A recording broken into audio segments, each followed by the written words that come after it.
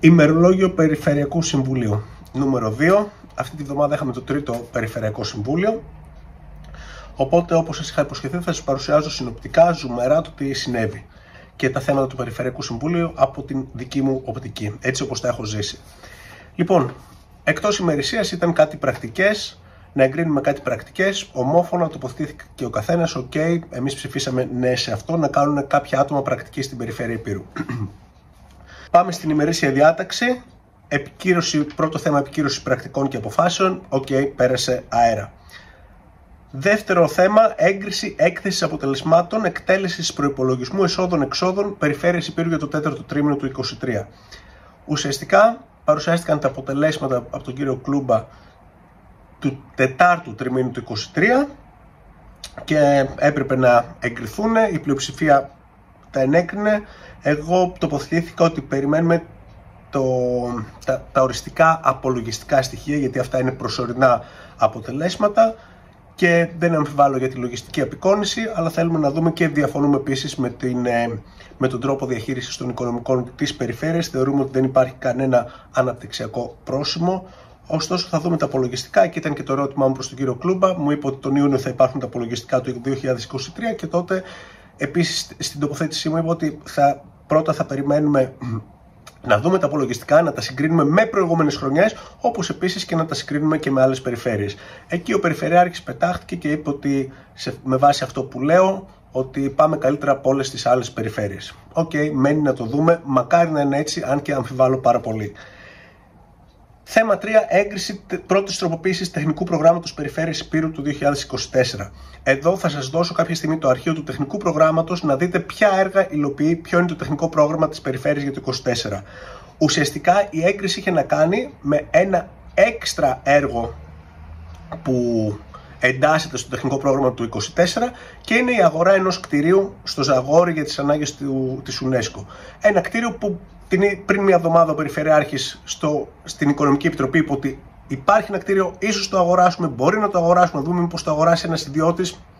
Δεν τεκμηρίωσε σε καμία περίπτωση την αναγκαιότητα αγοράς και τη τις διαδικασία αγοράς, το γιατί κοστίζει 150.000. Έγινε έρευνα αγοράς, να δούμε, υπάρχει κάτι άλλο. Εν πάση περιπτώσει, εμείς δεν ψηφίσαμε, διαχωρίσαμε ότι αν πρόκειται για έγκριση του, του, του τεχνικού προγράμματος, διαφωνούμε αλλά για την τροποποίηση ώστε να μπει αυτό το έργο ψήφισα υπέρ και ας το πάρουμε αυτό το έργο στο, ε, το ακίνητο συγγνώμη στο Καπέσοβο. Παρά τις αμφιβολίες για τις διαδικασίες. Θα είμαστε εδώ και θα το παρακολουθούμε. 150.000 ευρώ για την αγορά του κτηρίου Φιλίδη. Τέταρτο ήταν έγκριση προγράμματος τουριστικής προβολής της περιφέρειας Υπήρου του έτους 2014. Να γυρίσω λίγο στο προηγούμενο, κάτι που μου έκανε πολύ μεγάλη εντύπωση, είναι ότι ένας από τους επικεφαλείς των παρατάξεων να μιλάει σε πρώτο πρόσωπο. Δηλαδή, στο προηγούμενο Περιφερειακό Συμβούλιο ψηφίστηκαν μεταξύ τους. Η παράταξη του κ. Καχριμάνη με την παράταξη του κ. Ζούμπα και του κ. Στέφου. Αντάλλαξαν ψήφους ώστε να πετάξουν εμάς έξω. Τώρα βλέπουμε τον κ. Ζούμπα να μιλάει σε πρώτο πρόσωπο. Και να λέει ότι εμείς πρέπει να αποδείξουμε ότι δεν είμαστε επιχειρηματίες και, και, και. Δεν ξέρω αν ο κ. Καχριμάνης χρειάζεται συνήγορο να, να είναι τόσο εμφανής υποστήριξη από την παράταξη του ΠΑΣΟΚ του κ. Ζούμπα. Πάμε λοιπόν στο τουριστική προβολή της περιφέρειας Υπήρου.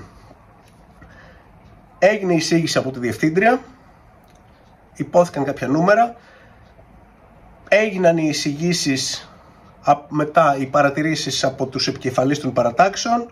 Εμείς σε αυτό το ζήτημα είμαστε κατηγορηματικά, καταψηφίσαμε, καθώς θεωρούμε αστείο να συζητάμε ότι μετά από 23 χρόνια διακυβέρνησης της Υπήρου από τον κύριο Καχρημάνη, φτάσαμε να έχουμε 73.000 επισκέπτες στο peak της σεζόν, στο peak πεντάμηνο, στο καλύτερο πεντάμηνο στην Ήπειρο, που σημαίνει 1,5 αεροπλάνο την ημέρα.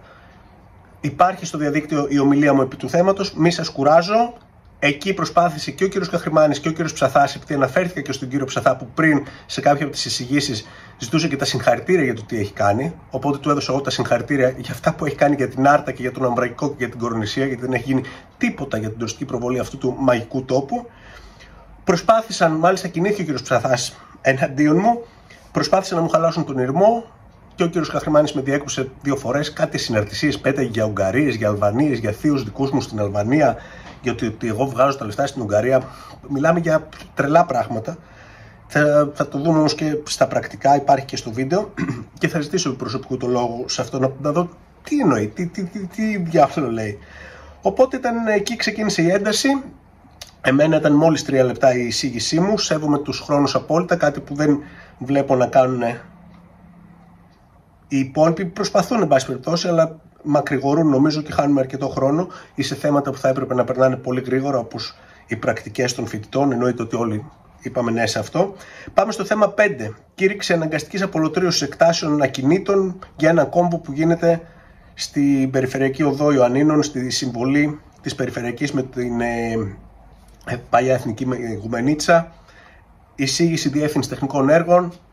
Όλοι το ψηφίσαμε αυτό. Τώρα διαδικαστικό θεώρησα τουλάχιστον ότι είναι. Και πάμε και στο έκτο, το ζήτημα των αγροτών. Ένα θέμα που ήρθε με αφορμή την ένταση που είχε προκληθεί την προηγούμενη, στο προηγούμενο Περιφερειακό Συμβούλιο, στο οποίο ήταν οι αγρότες είχαν έρθει, κάναν τα ψηφίσματά τους, κάναν τη φασαρία. Θα πω ότι δεν υπήρχε κανείς από τους αγρότες εκεί και νομίζω ότι αυτό, δηλαδή ο κύριος Καχρημάνης ουσιαστικά βγαίνει λάδι, έτσι, ότι να εγώ έκανα το, ε, το Περιφερειακό Συμβούλιο, συγκάλεσα θέμα επί τούτου, μιλούσαμε μόνοι μας, να τα ακούμε μόνοι μας, ο κύριος Καχρημάνης μίλησε 50 λεπτά στην εισήγησή του, μόλις τελειώσαμε εμείς. Εγώ έθιξα το θέμα, είχαμε βγάλει ανακοίνωση πέρυσι πριν 1,5 έτος ακριβώς για αυτά τα ζητήματα. Λέγαμε, χτυπούσαμε τα καμπανάκια για, το, για τα προβλήματα του, αγρο, του αγροτικού τομέα, του πρωτογενούς τομέα, του τομέα της αγροδιατροφής, με αφορμή την τότε βαράβευση του Περιφερειάρχη ως αγρότη της χρονιάς. Και είχαμε πει ένα αστείο τώρα να βραβεύεται κάποιος αγρότης της χρονιάς όταν υπάρχουν όλα αυτά τα προβλήματα. Και επίσης στην εισήγησή μου τοποθετήθηκα και για δύο θέματα που ως συνήθως τα πετάει φωτοβολίδες και μετά ξεχνιόνται. Είναι το κέντρο κρέατος από το 2017 ή το δίκτυο φυσικού αερίου από το 2010 ήταν στις προγραμματικές του δηλώσεις άφαντο. Η εισήγηση μου αυτή υπάρχει διαθέσιμη στο διαδίκτυο, στην προσωπική μου σελίδα. Μη σας κουράζω. Εν πάση περιπτώσει, κουραστήκαμε, τον ακούγαμε 50 λεπτά. Η αίσθησή μου είναι ότι πώς είναι κάτι παππούδες στο χωριό που μιλάνε και λένε την ιστορία της ζωής τους και τους βαριέσαι στα 5 λεπτά. Ε, κάπως έτσι αισθάνθηκα και ένα δεύτερο που αισθάνθηκα ήταν ότι βγήκα από το Περιφερειακό Συμβούλιο και ήμουν έτοιμος να πάω να αρμέξω. Δεν χρειάζεται τόσο πολύ κουβέντα, τόσο πολύ θεωρία και να λέμε το τι γωνία μάθαμε, έχουμε μάθει απ' έξω ότι, τις γωνίες φύ του, το, του ΤΟΕΒ και τη, κάτι ιστορίες που τις λέει, τις λέει και στην Οικονομική Επιτροπή, τις λέει και εκεί και λέει τα ίδια και τα ίδια. 7 ώρες Περιφερειακό Συμβούλιο, η κατανομή του χρόνου, εμένα ήταν η πρώτη εισήγηση 15 δευτερόλεπτα, η άλλη άντε να βάλουμε από ένα λεπτό, ένα και ένα λεπτό, τρία λεπτά για τον τουρισμό, δύο λεπτά για τα αγροτικά.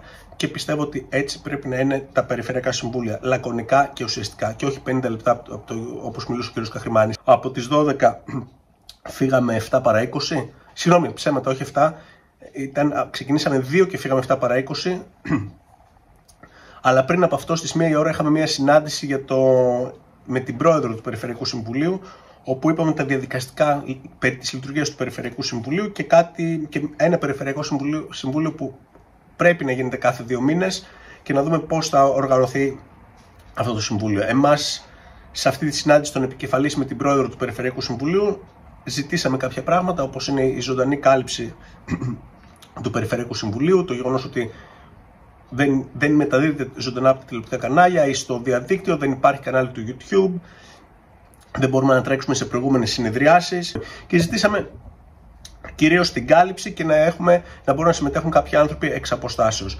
Επίσης ζητήσαμε να υπάρχει σταθερή ημερομηνία των Περιφερειακών Συμβουλίων, δηλαδή να λέμε ότι την πρώτη Δευτέρα κάθε μήνα, ώστε να γίνεται ένας καλύτερος προγραμματισμός και αν υπάρχει εμβόλυμα, ας μπει κάποιο εμβόλυμο Περιφερειακό Συμβούλιο.